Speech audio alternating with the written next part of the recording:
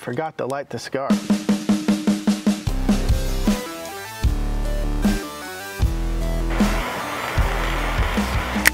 Gigaparts has set up a 5% off to all my tankers out there. Plus, that you can get a DigiRig kit that comes with this amazing blue box. I wish I had it. Along with amazing deals on M&P, that's Messi and Paoloni cables, which I'm going to be working with a lot here soon. Enter TANK at checkout to get 5% off and also help support the channel. The link is in the description below. Today, we're working with the Evolve 3 to install all the software you need to run the DigiRig and the G90 for FT8. So let's go ahead and get started. I already went ahead and downloaded WSJTX, HAMRS, and OmniRig to this laptop so we can skip the whole download part. We're gonna go ahead and run through the installs and I'm gonna show you how to set them up. First, the easiest one I think will be hammer, so let's just go ahead and run through that. It does take a little bit on this laptop. It doesn't have a lot of the processing power that I like to have, but you know, for running in the field, this is gonna be more than fine. It's gonna take a while to install stuff. That's why I have a cigar. And a comfy chair on a beautiful day. What else do you want? The software to open. I hear you in the comments already. It's taking a while to run the installs and we've seen the installs already. So I'm just gonna jump to the setup process. The install finally finished, so let me show you what I did. I went ahead and installed WSJTX, HAMRS, and OmniRig. You gotta find OmniRig in the menu here. Let me go ahead and launch it. It does take a minute to launch. Also, running uh, these installs took about 10 to 15 minutes. So it will take some time. Plus I got a hat. It was getting kind of hot out here on my head. Usually, I don't know, understand, OmniRig usually takes a bit to open up, even on my uh, nicer computers. This is OmniRig. One quick little thing I like to do is go ahead and pin it to the taskbar since we're going to be using it on this computer quite frequently. For some reason, they don't install to the desktop, so you always have to launch it from the start menu. We're going to go ahead and slide that over here and then we are going to launch WSJTX and here it is. I think it's time to throw up the antenna and uh, get the radio going, which I should have done already when I was waiting for this to install. Next time.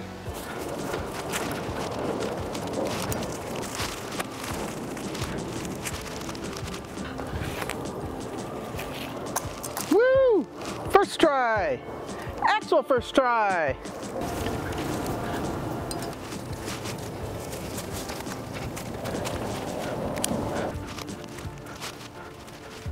and I'm setting up the dipole me and T.O. built on ham nuggets, so go ahead and check that out if you haven't seen it already. Link in the description below. What is this on the auxiliary radio bag? A bunch of extra coaxial cables? Sweet. Connector, connector, what's your connection? We got the DigiRig hooked up. If you want to see how I wired it up, watch my other videos. They explain all the wiring. Um, the last thing I got to do is plug it into the computer and see if the drivers recognize. So it looks like the drivers didn't install all the way, and that's okay. I've seen this before, so we just have to go to the website and download them. I went ahead and Googled CP2102 November um, into Google and went up to the web page and pulled up and that should bring you to Silicones Labs webpage to go ahead and download the drivers. The screen lags a little bit because the recording on the Evolve is not that great. So I'm gonna go ahead and unplug the DigiRig. Open up the folder. Ah, one of those. So we're gonna have to abstract the folder and run the install. Then we're gonna plug this back in. And then once the drives are successfully initialized, you'll see this ports. Select the drop down for ports. And then you'll see what port number we're on. We are gonna be on COM3 for my computer. Next, we're gonna come into OmniRig, choose COM3, then we're going to choose IC756 Pro. Then we're going to set the baud rate to 19 by 200. This RST to low. this DTR too high, and 250 for a pull cycle, and timeout 4000. I'm gonna go ahead and jump to me working FT8. You've seen me set up this before in another video and the video keeps lagging. So we're just gonna go ahead and jump to the next thing. It's finally happening. A contact.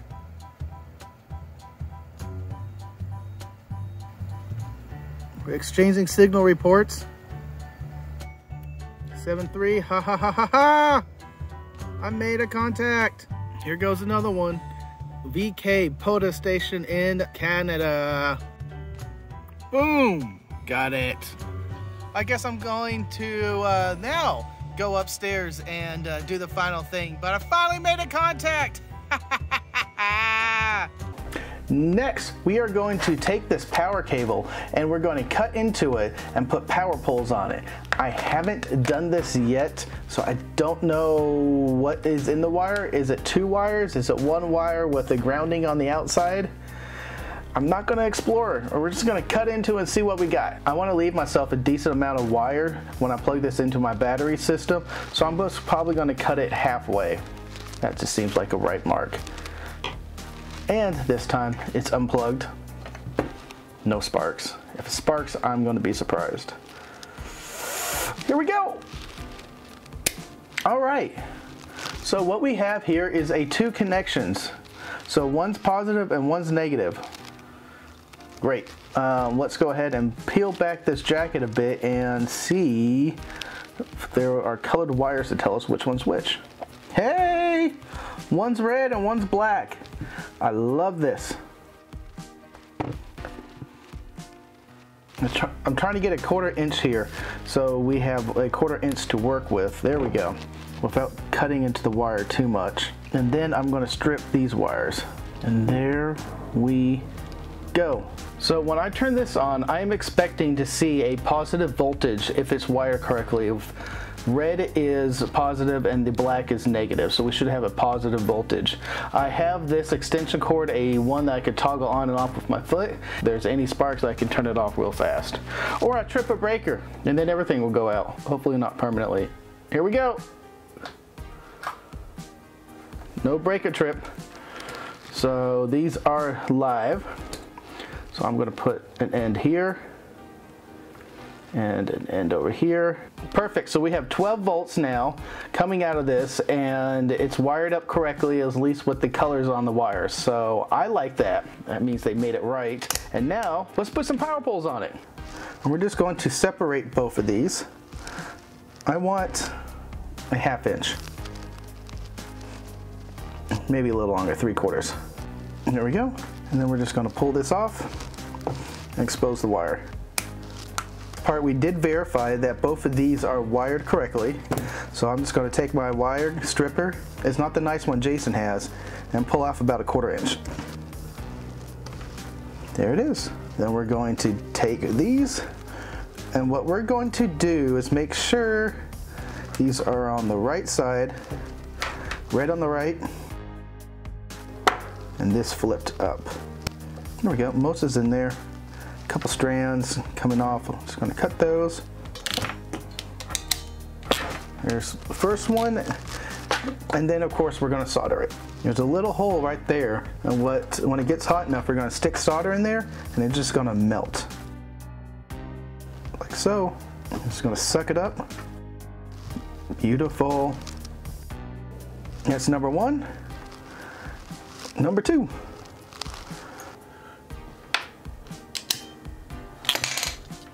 And again, solder.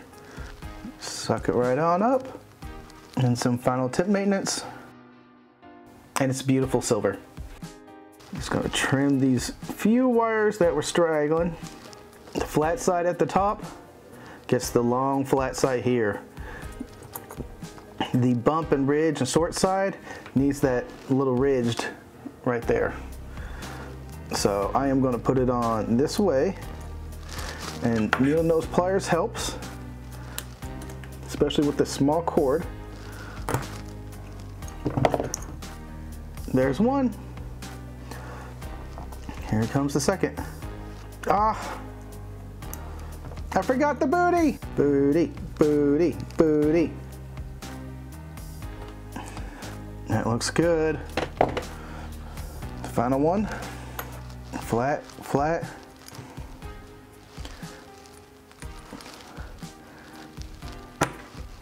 There we go. Perfect. On the other side. And there we go. There we go. All right, on to the second pair.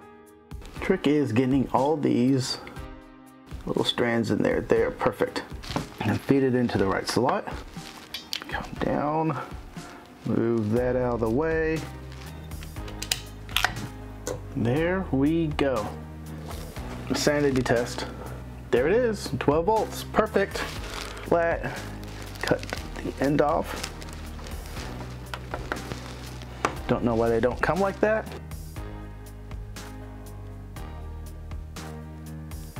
And that is just getting sucked up right into it. Tip maintenance, according to Mike, anytime you're done, clean it, tin it, and turn it off.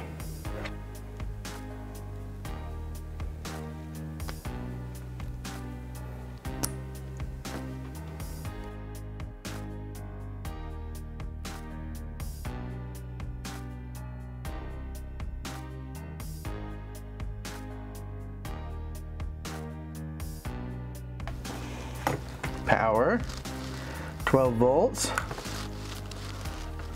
There it is, power. Oh, yay, it's booting up and it's working. Till next time, y'all, go forth and conquer. You can help support the channel by Patreon or YouTube memberships. Links in the description below. And a thank you to all my supporters. Go forth and conquer.